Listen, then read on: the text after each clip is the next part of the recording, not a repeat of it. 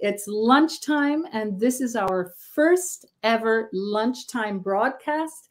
Uh, we're coming to you, both of us today, from Winnipeg, Manitoba, here in Canada. And this broadcast is going to be a little bit different because it's not in the format of the prophets discussing things, it's just heart to hearts getting to know one another, me talking to, to people that you may or may not have met yet, and uh, who I would love for you to get to know.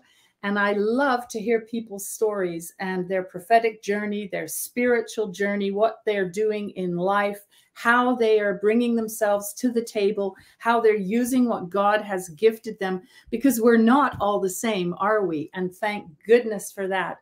God has wired us so very, very differently. So, Kevin, I'll tell you, sorry, I'll tell you about our guest in a few minutes. But first of all, Kevin, you were first on today in the Highlands in Scotland. And I see you, Sharon, in the UK. There's Lorna, there's Maria in the Philippines, Angie in the United States. Hello. Anne Marie in Cardiff in Wales, and Jim in Oklahoma. It's really, really good to see you. And Sandy in BC. Today, my guest is a, a gal named Heidi Korte.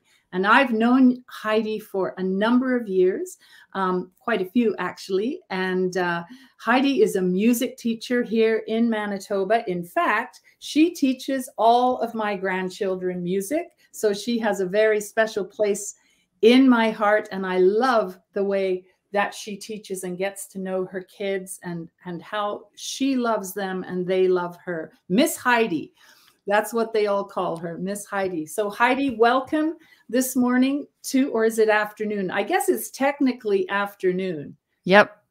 Thank so, you. Good yeah. to be here. I would love for you to say a little bit about yourself. You know, I can introduce you and say you're a music teacher, you love Jesus, all of that kind of thing. But, you know, you give us a little bit about yourself that that you would like to say this is who I am? Sure. Um, I was raised in a really traditional, actually, we were raised in the same um, environment, pretty much, you and I. Um, I was in a really traditional environment for about 20 years. Um, and then I moved to Winnipeg. I think God moved me to Winnipeg. And I had actually abandoned Christianity at that point um, because in the denomination that I was brought up in, women weren't allowed to do things and or pray and or lead, and I knew that I was born to lead. Um, and so around the age of 18, 20, I abandoned um, abandoned faith altogether. And then God put me in Winnipeg and said, I don't think so. And I met people for the first time who heard from God on a regular basis. And I was like, no, you don't. You're lying. And I remember being so offended because I had studied the Bible my whole life that I almost felt like I could speak for God on his behalf because I had read the book. And then uh, kind of like like uh like someone famous if you read all their material and all, all their autobiographies you can kind of feel like you know them oh there's my cat um but but it's not the same as sitting down like having coffee with someone then you really get to know them. And so i would say that in my 20s coming to winnipeg that's what um, god did was allowed me to see that he i could actually sit down and and and commune with him and hear back from him. So that was just life changing well how did that happen? Like did you crash into christians or or like what happened? Like the moment where we're yeah. sort of well actually i was in my dorm and uh, the only other christian and I hadn't gone to church at least in a couple years. The only other Christian um, just arrested me and said, "We're going to church," and he took me to this EMC church that was in a school gym. So, like, my religious upbringing was immediately so offended. I'm like, "This is not church; it's a gym. You cannot have church in a gym." Like, I was so. I remember being so offended, even when the worship leader said, you know, uh, let's kneel for the last chorus. I was like, where is that in the Bible? But hello, it's everywhere. It's, it's, really funny to think about now. So oh, that's that's how I got connected there, and then from there, um, sort of moved into the charismatic environment. So where, where I met you. is that where you met me in in those years that you were just coming out of, of uh, this? I, I met. So. I I think I met you at Beyond this Oh, this yeah. inner city gathering we had in Winnipeg, and it was very like Holy Spirit led and frightening for someone like me. I was Yeah. like, I would see people manifest something in the Holy Spirit. I'd be like, Dear God, please don't ever let that happen to me. I don't want to be that person. Wow. Okay. So Heidi, um, you and I, like you just said, we came from very traditional background, the same same denomination, you know, very traditional. How did you find? Was it a long journey to break free from some of the things that that actually held you captive, kind of thing, or was it all of a sudden the light went on? Well, you were actually, do you, I don't know if you remember, you were actually instrumental in one of the big breakthroughs um, in my life. Do you remember? No. Uh, it was when we were at the cabin. Oh.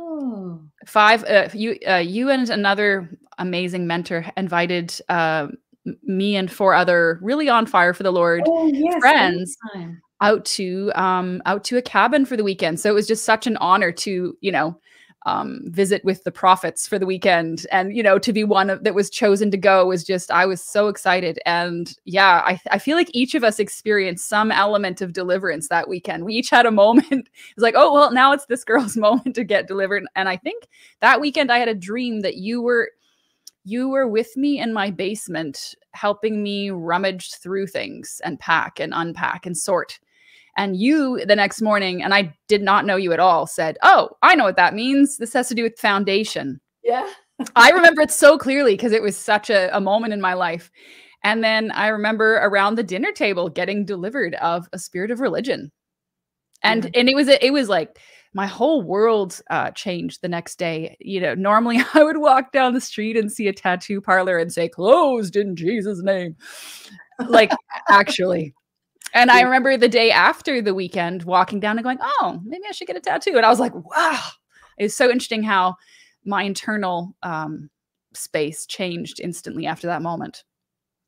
Heather Clayton from who lives in North Wales and actually not far from the school that I used to go to of this denomination that we're talking about. She goes, "Me too, very traditional.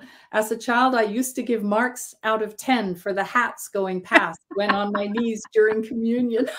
Mm-hmm.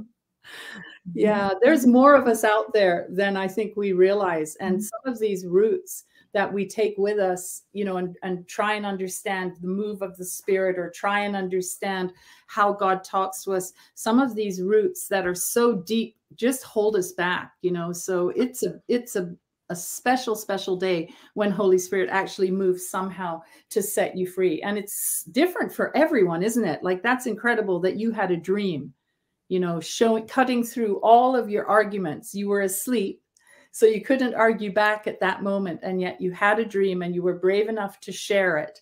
And so God could actually do something. I think that's incredible. That's But- a landmark moment for me. Yeah. So, yeah, things really changed. I think even in my ability to share the love of God with people, before I was like one of those people who was almost offensive with it, it was more about being right um, than about actually loving people into the kingdom. And and um, it was actually probably pharisaical. Yeah, I would say very pharisaical um, and very separatist, us and them. Um, And then from that moment, it it just changed. So yeah, to me, that's like a, a big moment in my journey. So, how did you live that out with your family first? Um, in what way? Well, did you just sort of blurt out that you'd had this epiphany, or Yeah, did I did, And I offended them all. Yeah, totally. but I it think- didn't stay like that. I think I was just so excited that I'd experienced some of these things and I wanted all my family to experience them. So I, I think right away I began pushing, like, you know, do you know how to hear the voice of God for yourself? Well, let's sit down and try, you know, and, and have you been delivered of this? And, you know, I, I was just really excited. Um, now I think it's a little bit more balanced. yeah as we as we grow in the things of god and the ways of god and the wisdom of god usually it does have that effect that we're not so out there and and you know doing and saying the things that we shouldn't that that just upset people. Oh my goodness. Not that we ever intend to to upset people. It just Mhm. happens right Yeah. So how did you begin to live this out then in your work environment? Because you're a music teacher, you you're in business for yourself, you have a lot of clients. How does that look? Well, at the time, I was actually working at Starbucks in the um, middle of Winnipeg, and I had contact with 500 people a day. So that was sort of my life then. I hadn't really started teaching yet. Um, I think it just changed in the way I loved people who were really different uh, than me or um, whose views of sexuality were different than mine. Um, it just it, it created a, a tie to them as opposed to a, a wall between me and them um, where I could just love them and see them for dearly beloved of God, right? As opposed to us and them, and I'm better because I do these things, and you're less because you do these things. And you know what I mean? It was like, actually, you're dearly beloved of God. You were a treasure. Like it just changed things. So it changed the way every time someone would use Jesus' name as a curse word, I stopped saying, is my best friend. oh, how annoying was that? That's like that other saying that's that's um love the what is it? Um love the sinner but hate the sin or something like that. You know it's like one of those sayings that what are you talking about? You know love yeah. just love. Wow. So um how did your students i think most of them were aware that you were a believer right? A christ follower? Yeah i mean what's fun about what i do now is um like a lot of the freedom and liberty that I've experienced in church, um, I've found a way to translate it to a secular level and get to impart it to my students. So, like things like um, like false beliefs about yourself, um, you know that. If, yeah, like the example, if you believe something really negative about yourself, you live under it. I learned that in church. Um, but I've found ways of um, having that be part of my music lessons so that my students um, actually gain a tremendous, hopefully, most of them gain a tremendous level of freedom. Wow. Well, I know they, I think they love you and they respond to whatever it is that you're carrying. And I think they've, you know, if I look back at the days when I was taking music, my teacher sat beside me with a ruler ready to oh gosh my hand and you know so when i listen to the stories that my grandchildren tell me about um, the way you teach them um, it's a completely different um, environment. You know i actually had a dream. I met someone else who had a um, who had had a music teacher. Like this this woman was probably in her um, 40s or 50s mm-hmm. and i had this dream. It was it was um, that i was in a secondhand store and i found a hammered dulcimer that was just covered in dust and it was out of tune and i just saw it and knew that it was a, like a treasure to be found like because i've always wanted a hammered dulcimer myself um, and and so i began in the dream dusting it off and just cleaning it up and and and, and allowing it to shine again and then what was funny was the next day i met a lady in a secondhand store she was the owner of this store Wow. And she had had um, a nun slam the. She actually had um, scars on her knuckles from where um, the this nun had slammed the uh, piano down on her fingers when she made mistakes. She and so she was deeply wounded and said, "I love music, but it just like it it um any anything to do with music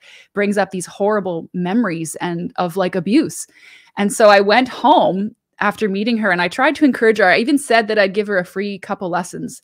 And what was funny was on the way home, the Lord was like, "She's the hammered dulcimer," and I was like, "What? How cool is that?"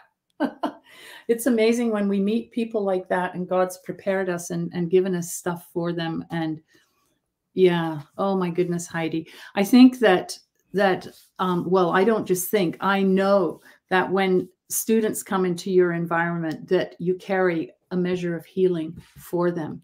You know, it's not just music lessons. There's no. Well, I think as a musician, in order to this is just like general statement. I think as a musician, in order to survive, yeah. You need to really have this sorted out like you need to be able to handle comparison right? Like how many how many musicians there's always going to be a musician better than you always. Yeah. So there are just things there's probably that's what my book is about actually. Um, there's probably at least 20 things i can think of off the hop that you need to get a hold of here. Um, even just authenticity right? Like music is supposed to come from you. It's supposed to be a gift to people who listen. Yeah. and i grew up um, getting my identity from that so I I gained my importance for music, and I I actually did music to get, if that makes sense. Yeah, I understand. Um, and around 33, this is like a little rabbit trail, but all of a sudden the Lord placed this Jewish singer in my path who sang from her heart. And every time she sang, I was like so deeply moved. And it was just like getting hit on the head with like, I don't know, one of those things from Bugs Bunny, like just wham. I was like, I've been doing it wrong for 33 years. I've made it about me when it actually isn't about me. wow. It's about giving away. Yeah. And out of that um, change in your life has come a book that you've written. Let's talk a little bit about that because it's important what God has had, the revelation He's given you about all of these things, and and then we'll move on into talking a little bit about worship. But okay, but you have been working on this book. It's done now. Um, well, it's it's on its fourth edit. So okay. right now I have pre I have pre readers that are reading, and then I'm going to give it another edit, and then we're going to start going through publishing. Okay, so there's a book about to get launched, about to be given birth to. Heidi, tell us about it. Oh, I am so excited. You know, I um this book was prophesied by a friend of mine, Julie Meyer, who was one of my main influences in worship. Um, and she said three years ago, she had said a couple times, write your book, but then all of a sudden, I think it was three years ago, she said, Heidi, write your book. And it was just like a lightning bolt to my heart. It was like, now I need to write my book. Mm. And I also, um, at the time, had been watching um, these sermons about how if you want to grow your influence, you need to serve and you need to go lower. Mm. Um, and because my students hopefully all learn um, mental health as well as music in, in my classes, that's 38 a year that I'm influencing. And I just want that influence to be greater. Like how many young musicians are dealing with insecurity and yeah. and fear of failure and all these things that we deal with as creatives, right? Um, so I started writing my book.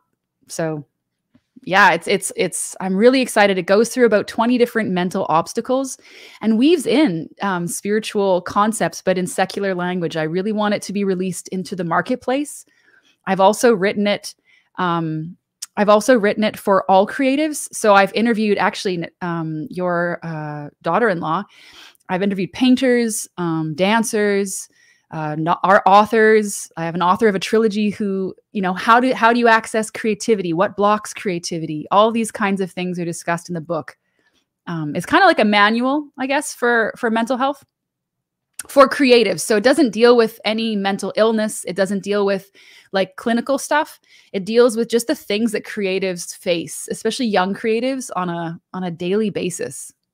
And it's got all these beautiful stories from my students. Almost every single, including uh, your granddaughter, almost every single one of my students has written a pe- like a a paragraph about their personal journey through one of the obstacles.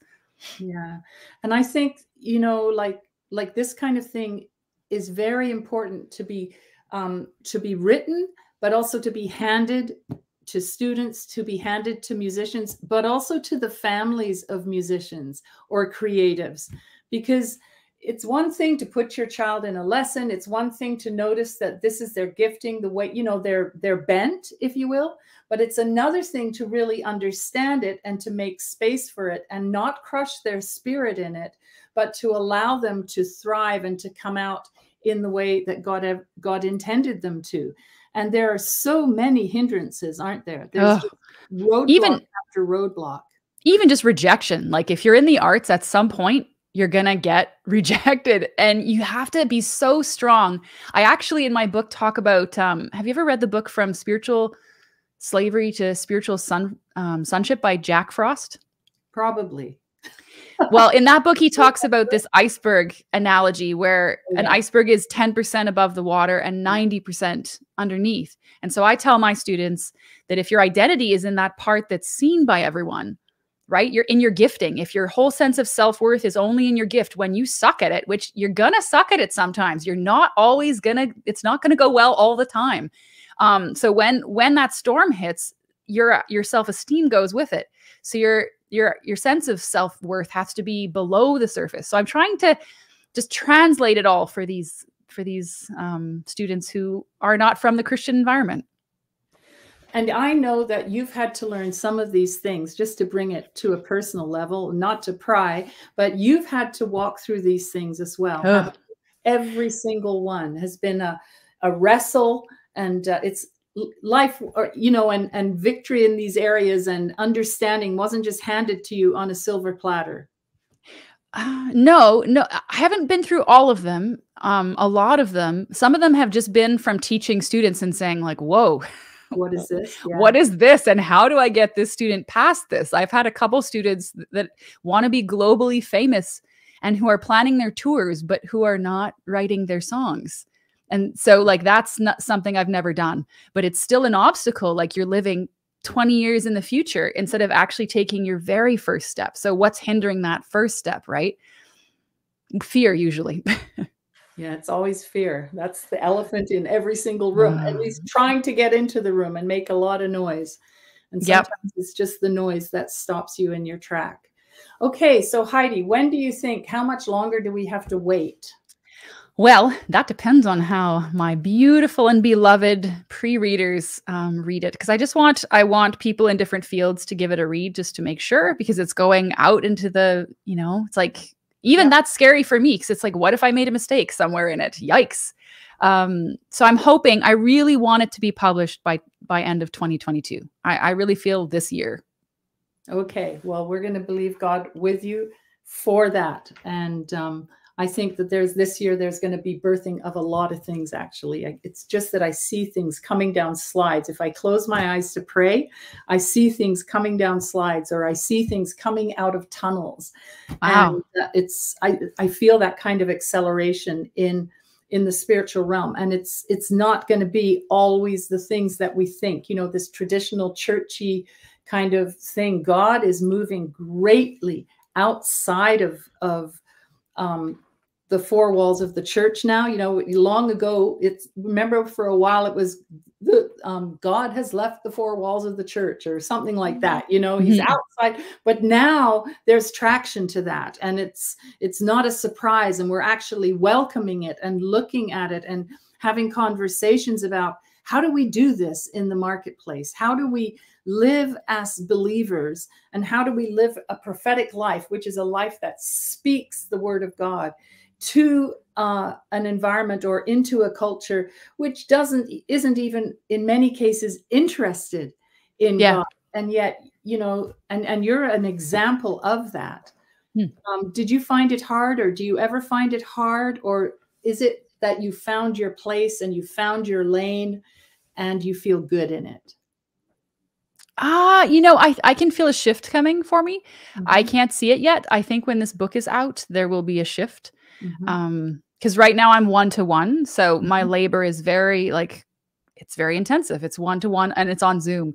Mm-hmm. Um, I'd love it for it to be one to many eventually, just so that there can yeah. be greater influence. So I could see myself moving into speaking in the secular um, world about mental health for young artists. I'd love to do that. Okay, all those radio station people that are listening. yeah. TV stations. Oh, I've got plans. I have a whole plan, but my book has to come first. It like the book has to be the first thing that comes out, and then I'm going to start a vodcast. Yeah, the book um, will open doors for you, Heidi. That's for sure. Yeah, I'm excited. So let's talk a little bit about worship because you've been a mm. worshiper mm. in one way or another for as long as I have known you. Even well, in days where you were uh, uh, you know, still locked into your denominational thing like music and singing to God, that's part of who you are. Yep. I um well putting like the first 20 years aside, um I guess my the the two people who really influenced me in worship um, were Julie Meyer and Joann McFatter, um, who are dear friends of mine. I just loved what they carried. I think some people are I know like really anointed worship leaders who are who love singing um, the same old hymns. It actually like brings them such peace, and they and their voices just carry the wind of the spirit on it. I think the way I'm made is the spontaneous. Um, I'm like for me to sing for two hours of my own song, that's okay. I can do that. Um, for me to live in someone else's song is a little bit harder because it's someone else's heart. It's not necessarily mine. Um, so I think different worship leaders have different, I think different worship leaders have different callings and anointings um, that can be celebrated, right? We're all different people and we all play different parts. Um, so I know that that's my favorite thing uh, to do. In fact, in my 20s, um, I used to, my friend and I led an evening, we used to call it God Night, really genius title. But we we would meet on Friday nights and we would just worship spontaneously the whole evening and flow with the Holy Spirit.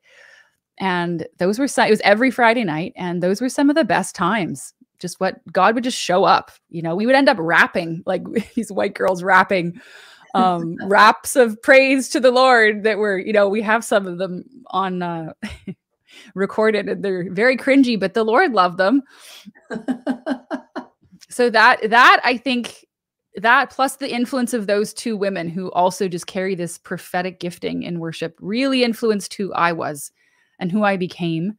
Um, still, my favorite thing in church is to host the spontaneous moments. So in in my church before the pandemic, I would sit at the piano and play along. Um, and then whenever there was a spontaneous moment, I would sort of take over and host that moment. That's that's fun for me.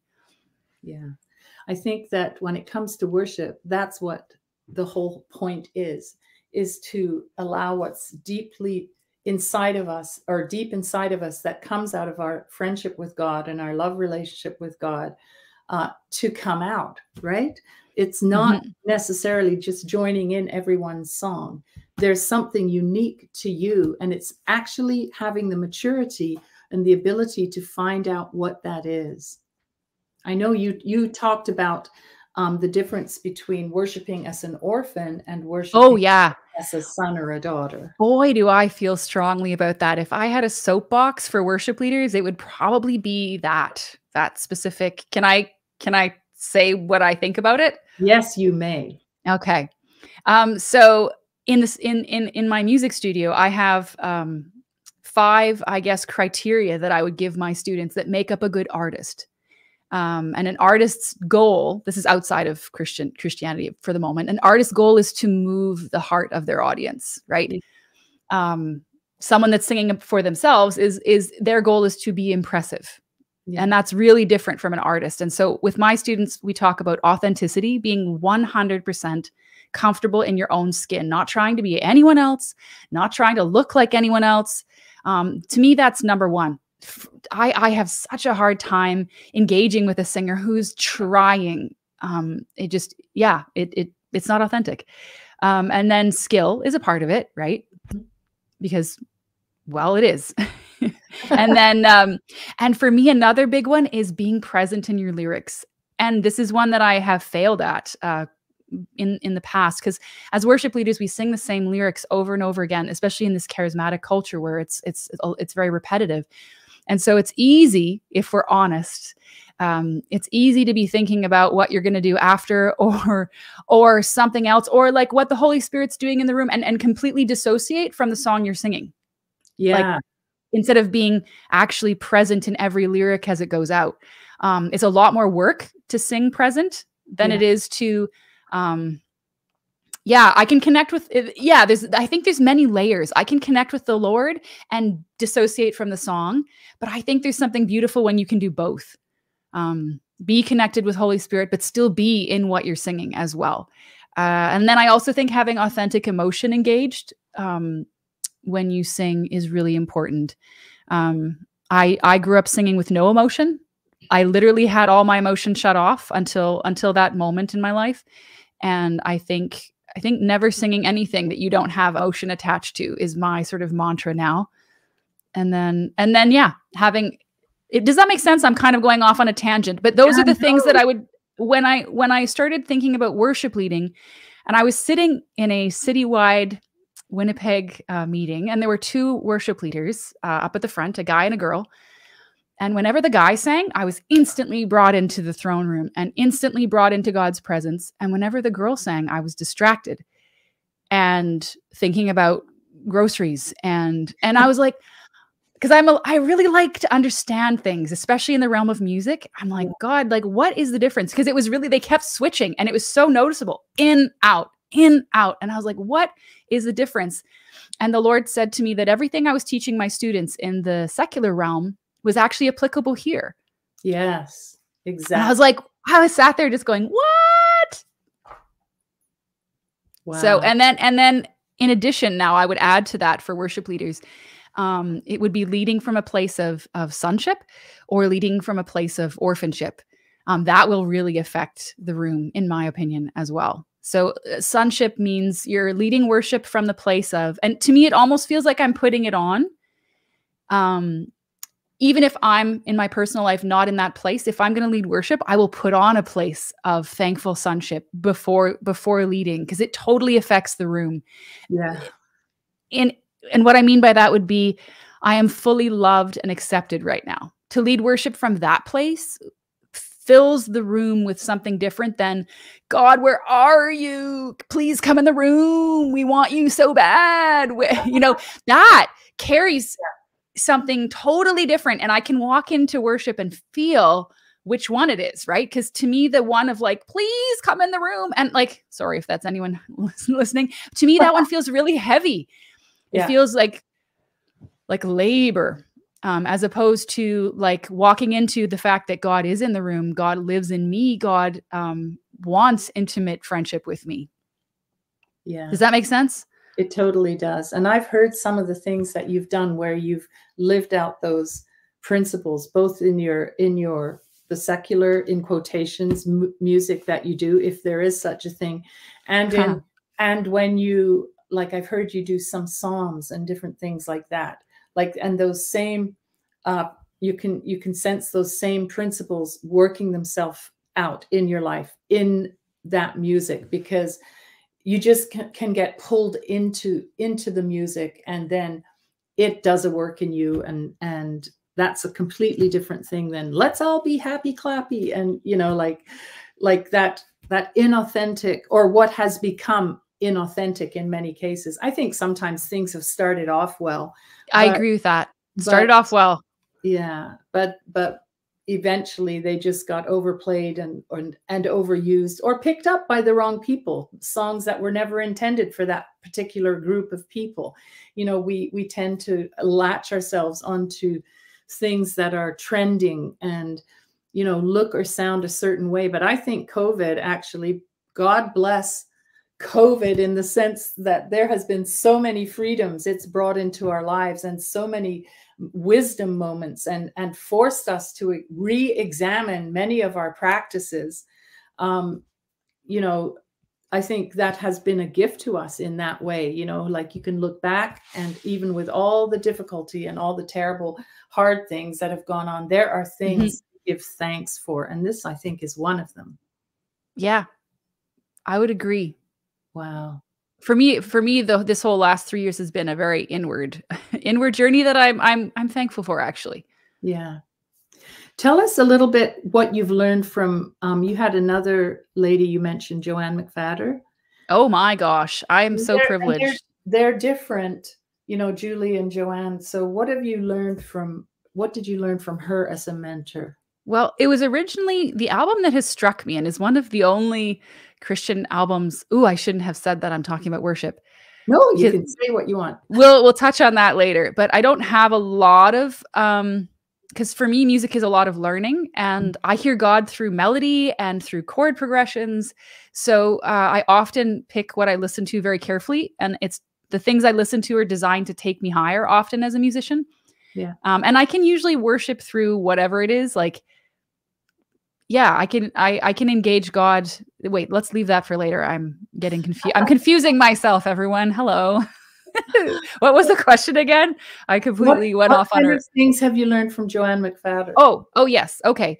Well uh man the the album that has resonated oh yes this is where i was going. Yeah.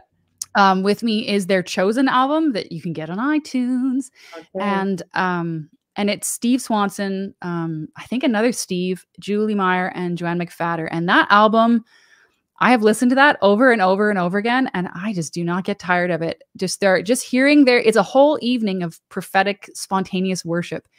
Um, I find they carry different things. Like Joann is like deep in the prophetic.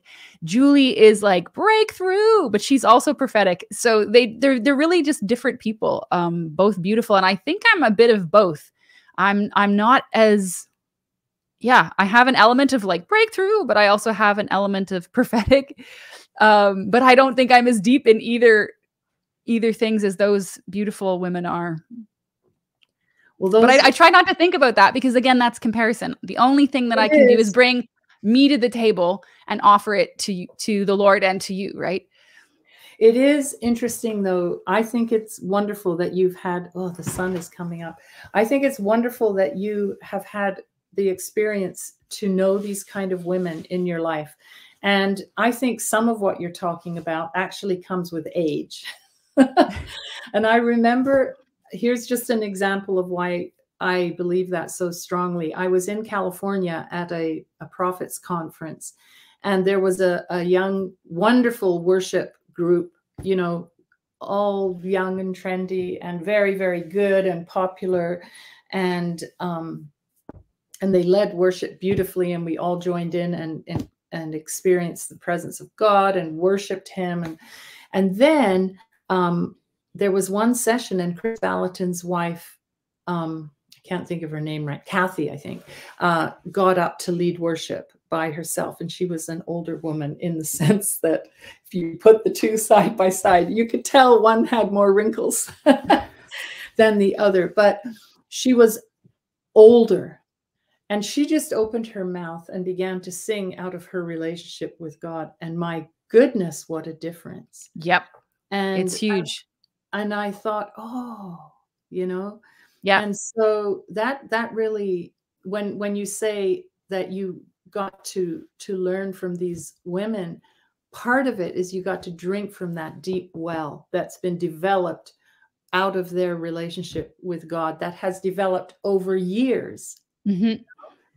Yeah, and I think I think even that, like the Lord, the Lord actually just recently, well, bef- maybe two years ago, um, really um, taught me that in an evening at a Boney M concert. Okay.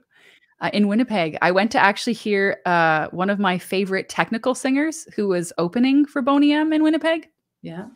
And and so I was there and I ran her merch table and fangirled horribly because, you know, it's one of my favorite singers and here I am meeting them and all that. And I'm a, horrible for fangirling.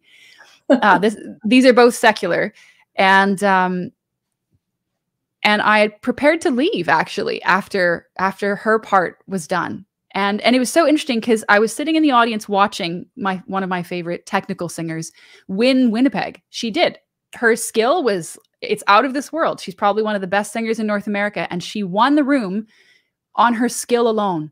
Like just everyone was with her, everyone was impressed by her. Um, you could just feel that admiration and like wow and then and then so i was saying goodbye to them in the in the hallway and boney m had come on and started to sing and um and the lord arrested me and said no you cannot leave. And i sat i stood there in the hallway by myself going is this the holy spirit or is this what is this? I, it's late. I want to go home. I have to drive somewhere tonight. Yeah. And i just felt like the holy spirit was like do not leave. Um and so i was like well fine. I will go in for five minutes uh, and see what the lord has for me there. I walk in and there's I forget how old she is. She's probably mid 60s, the lead singer now. Um, but I walk in, as soon as I walk in, she stops the the set and starts talking about God. Mm. And I was like, wow, that's cool. Thank you, Lord, that I got to hear someone speak about Jesus. You know, if I had left, I would have missed this. Mm. And then within five minutes of singing, she had turned the room to feel like Christmas morning with your family. Like, wow. like the, and I suddenly loved, and I'm an introvert, I suddenly loved everyone in the room and I would have gone up and kissed that lady on the cheek. Like, and I didn't know her at all. And and and her voice in comparison to my favorite technical singer, her voice maybe only had eight notes to it and it was scratchy mm-hmm. and older sounding. And yeah. and I was like, wow, skill isn't everything.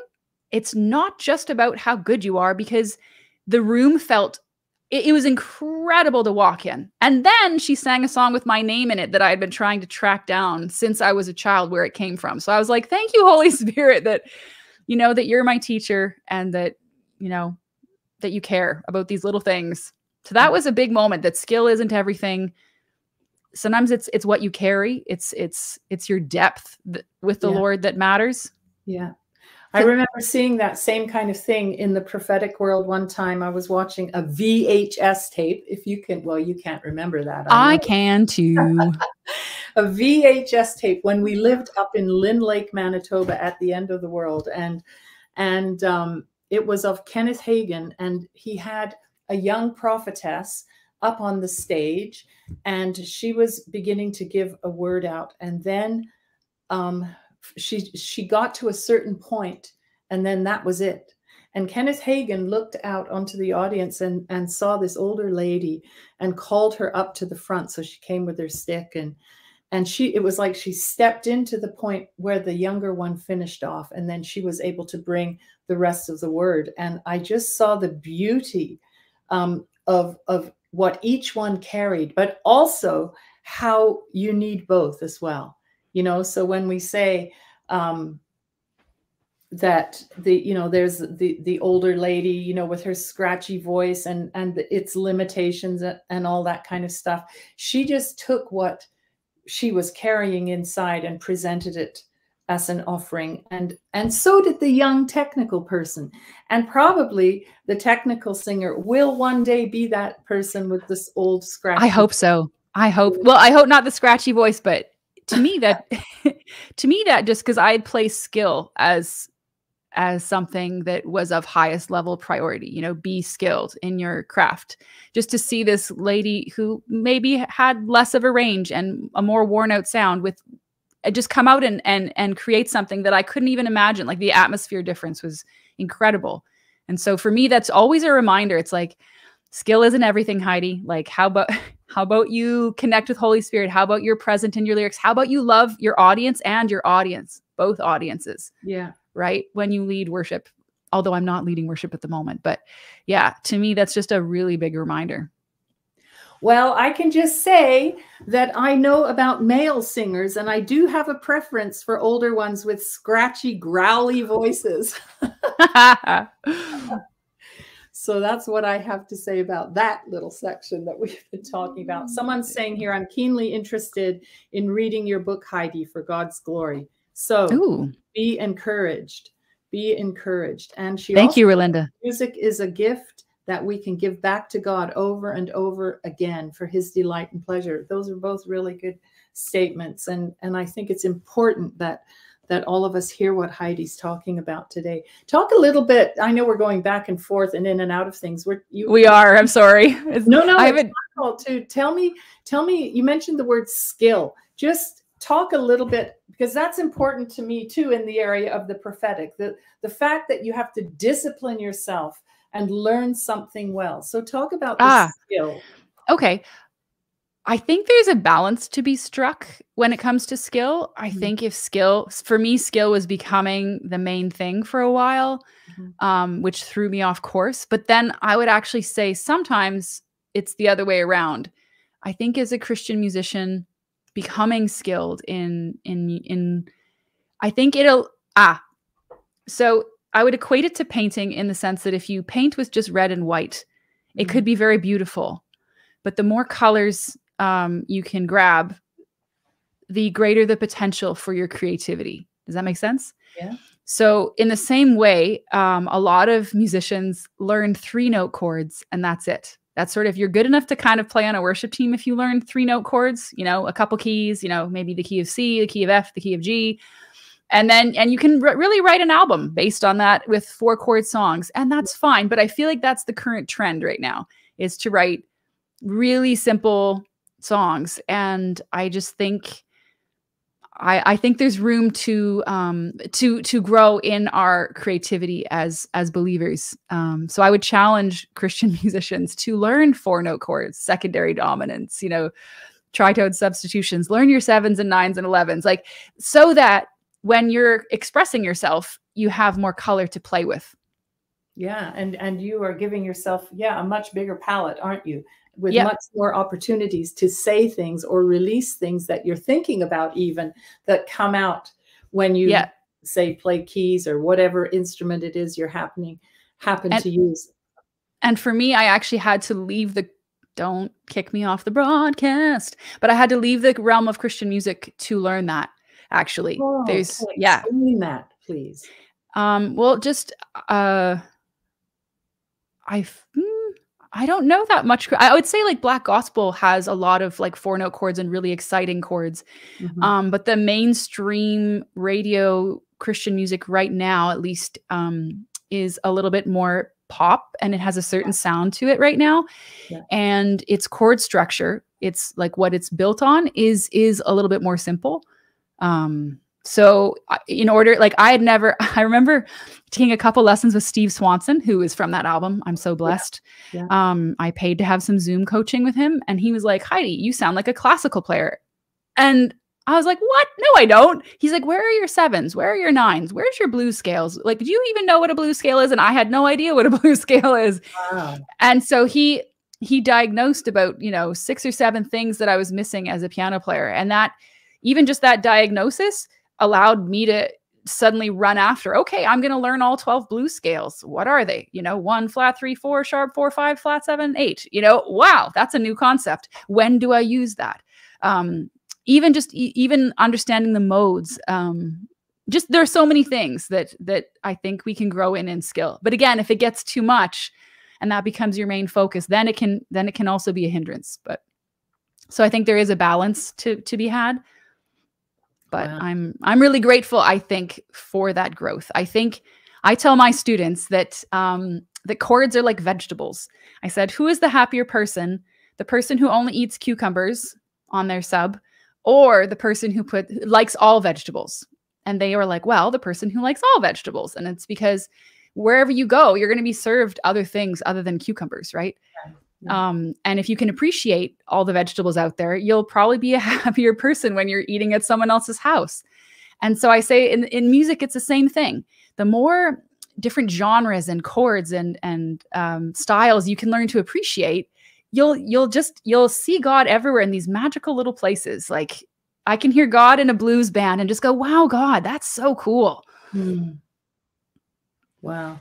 I think that um, there's probably 101 instruments that you can play, or at least at- at least experiment with what's your favorite. Where do you find yourself being the most natural and feeling at home? Because obviously that's where you're going to be able to express yourself the best.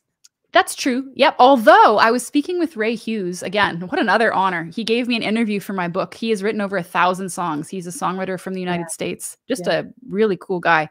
Yeah. And he said, actually, when you songwrite, it's better to first write it on an instrument that you're maybe not as comfortable with so that your heart's cry can come out, which blew my mind because I wouldn't have said that. Yeah, but that's what that. that's what he said um, and he also is quoted as saying music shouldn't uh, sound like music. It should sound like something that fell out of your mind and heart and made your life make sense. And i was like wow that's that's profound. Um, for me i'm a little bit different because i want to move into production maybe even film scoring at some point.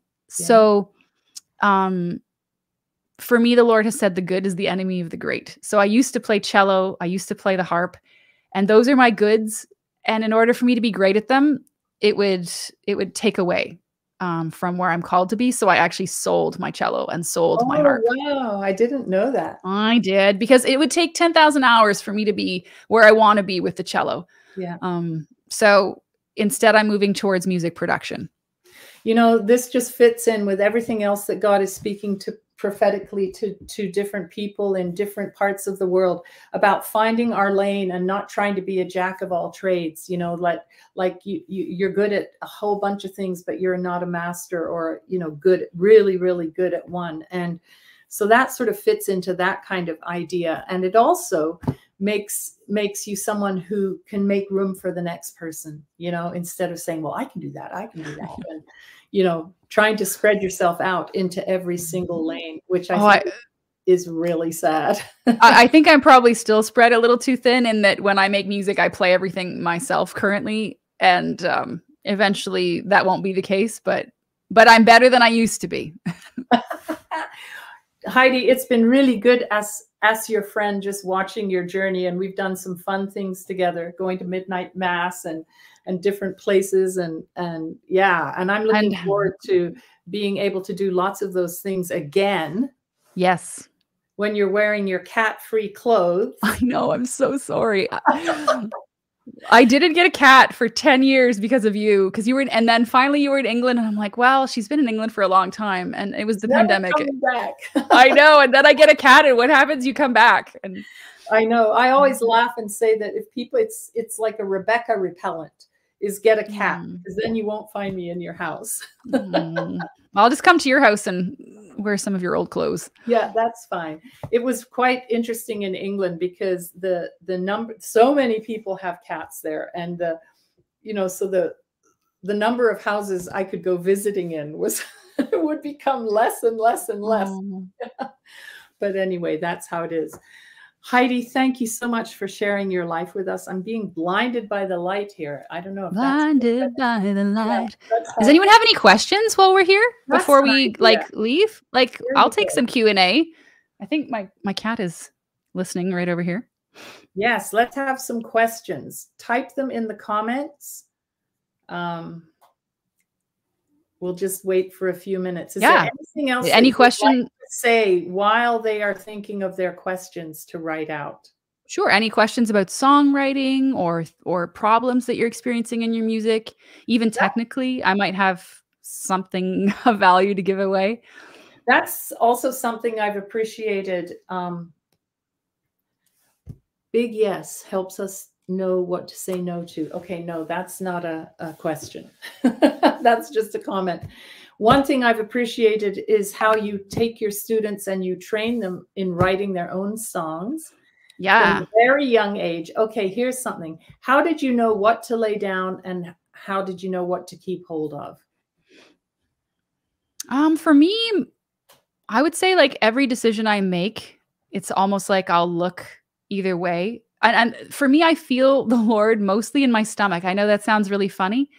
Um, and so often every decision I make, there'll be either peace or there'll be tension. Um, so so that's that's the first thing I would say is just like hearing the Lord for yourself really helps because there'll be peace with something and there'll be not peace with something else.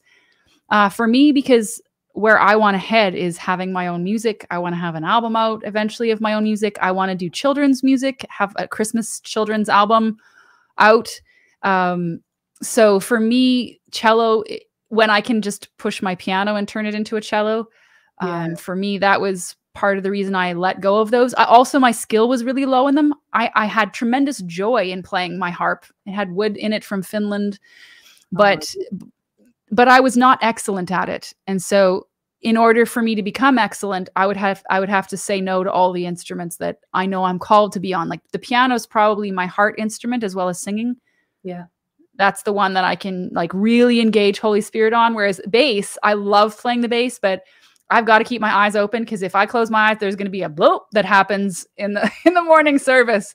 So it it, it often looks like this when I play the bass so that I don't botch it. But I still I yeah. So I'd say like the instrument you engage the Lord on, um, like dig into that one. Okay.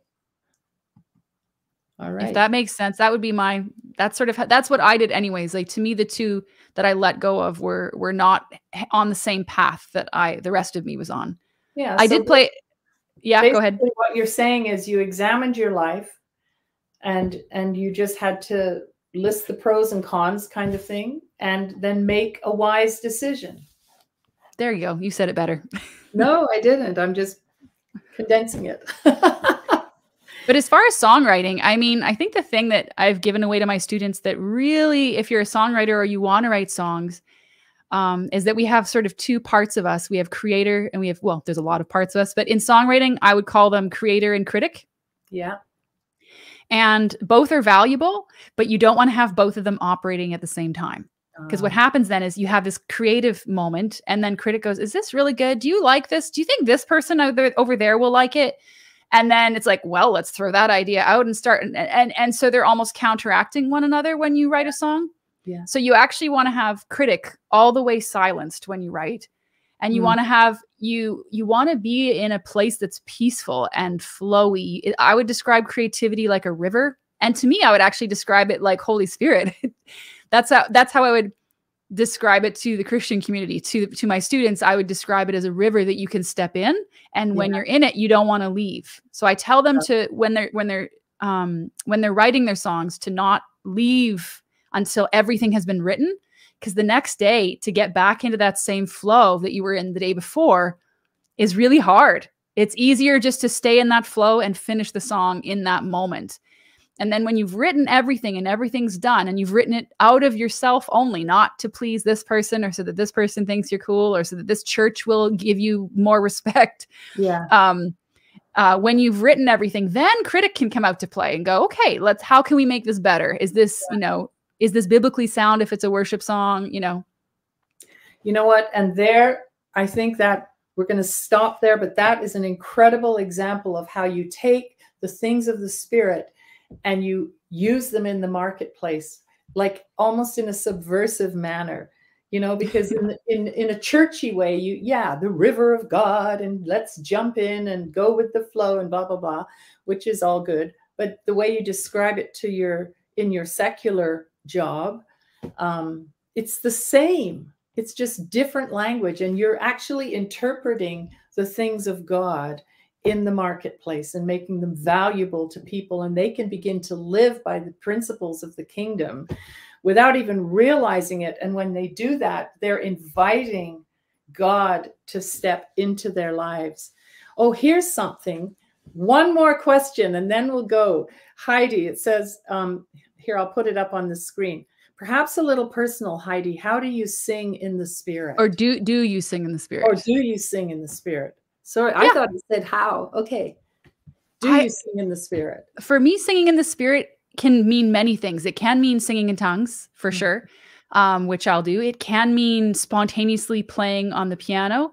Mm-hmm. Um, to me, singing in the spirit can even mean like through dance. I'm not the best dancer on the planet, um, but but every week I swim in an outdoor pool, and it has Bluetooth, so I put music on and it doesn't look pretty under but no one sees it and and it is my worship unto the lord so i, I think all of those three to me feel like singing in the spirit yeah but that I you couldn't necessarily biblically back that up. I mean, because I'm not singing, I'm dancing. But well, you know what? I think it's obedience and and um, yeah, that there's there are different ways of just of, of singing in the spirit, but also praying in the spirit as well. And so we need to have hearts that are open, hearts that are hungry, and we need to be people who are willing to take what we have and to bring it to the world around us because they're just just waiting to know God even if they don't know it, even if they're not aware, you know. Even, just something as simple as like uh like I I teach my students to discern atmosphere. Yeah. Um and and they don't they're they're not Christians, but I'm like that you were at neutral before you listened to the song. Where did it take you emotionally? So yeah. that they're they're learning to become I I like to call it the Gandalf. I give a picture of like, you know, Gandalf in the Lord of the Rings, you shall not pass. Yeah. Um, over their own, I call it eye gate and ear gate. It's like what are you letting in if you're a teenager struggling with depression what are you letting in that either you know are you letting in something that can help lift that or is it actually pulling it down further right so yeah, even discerning, that's something I love teaching them is discerning the atmosphere of what they're bringing in and how it affects them because most of them don't even know that what you listen to can change your emotions like that. No kidding. And right there is why I am so thrilled that my grandchildren are learning from Miss Heidi. Heidi, thank you so much. We've been chatting for an hour. And uh, I just want to thank you for sharing your life with us, your experience, your just your wisdom and your passion for the things that that you do. It's been fantastic. Thank you. You are so welcome. Okay. Thank you very much. And thank you everyone for being with us. I'll be back next Wednesday with another guest. God bless you all until then. Bye-bye. Bye.